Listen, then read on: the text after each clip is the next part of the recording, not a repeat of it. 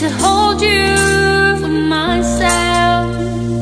I feel time run through my hands, try to grab it, but it fades. Say goodbye and all.